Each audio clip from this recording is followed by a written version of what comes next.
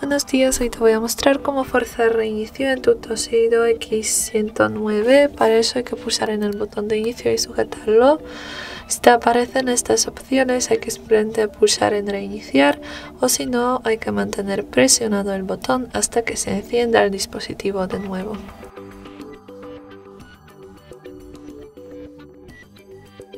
Y ya está, tu, teléfono, tu dispositivo está reiniciado.